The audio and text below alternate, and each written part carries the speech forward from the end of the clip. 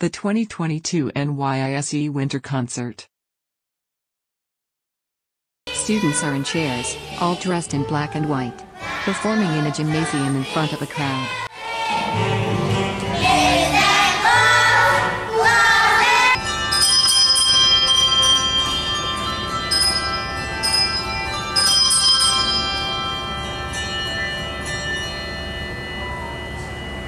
A girl sits alone at a piano in the middle of the gym.